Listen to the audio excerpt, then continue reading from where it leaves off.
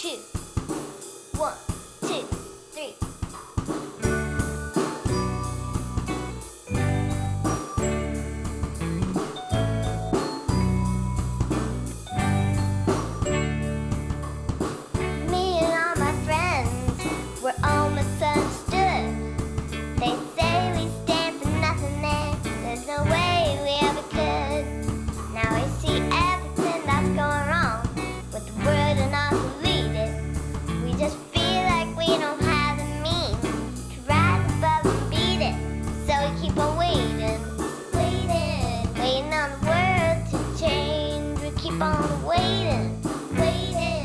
waiting on the world to change.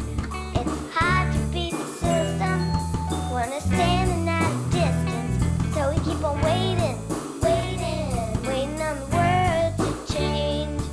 Now if we had power to bring our neighbors home more, they would have never missed Christmas. No more ribbons on their door. And when you trust your television, what you get is what you got.